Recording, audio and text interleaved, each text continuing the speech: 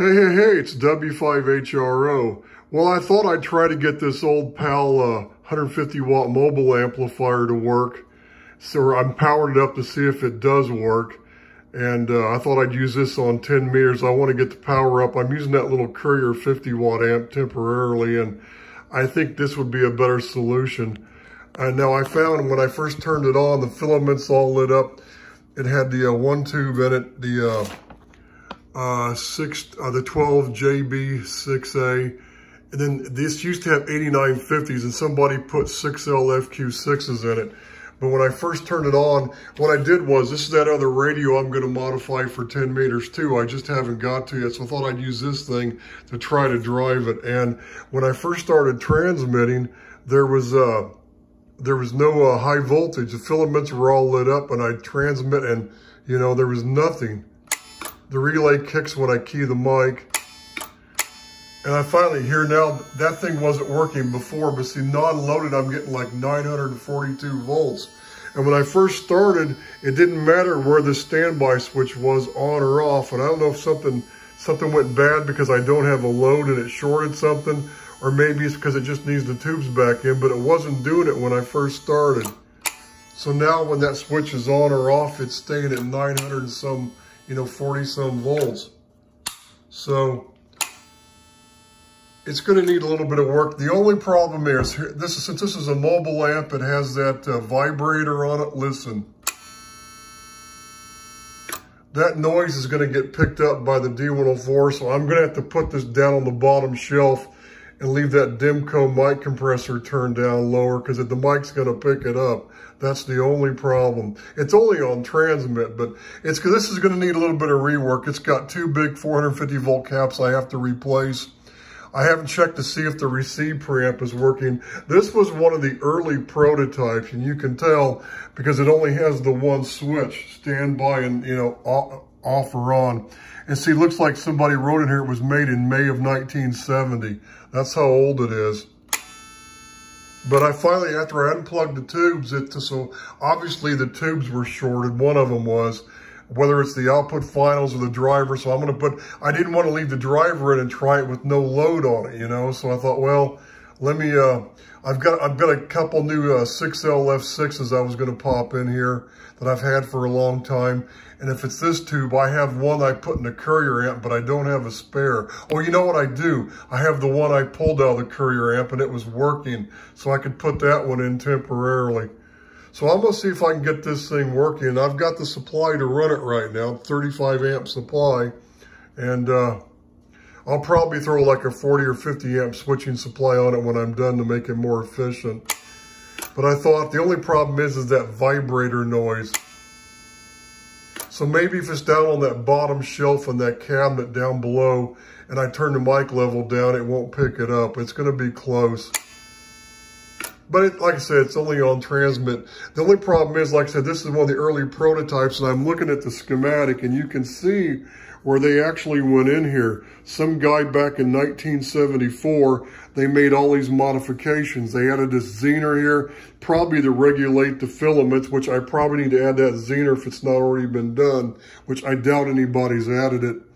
And it's got a receive preamp, and that's the thing. The uh, the receive preamp is always on. When you click it to operate, it's always on. And they on the later models, they added uh, two more switches, and the last ones had four switches across the bottom.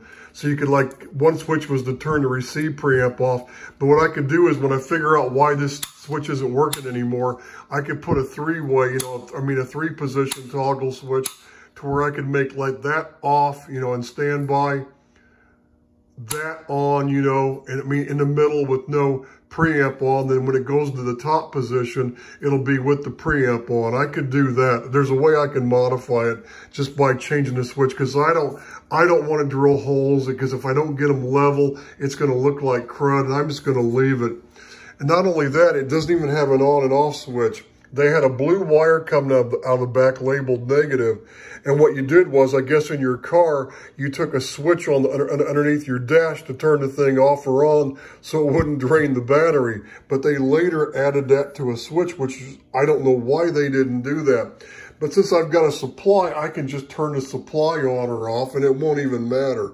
Or a switching supply, I'll just put the switch on that and it's not really a problem, you know, right? So, big deal. It doesn't really have to, for base operation, it doesn't have to have uh, the, uh, the switch on it.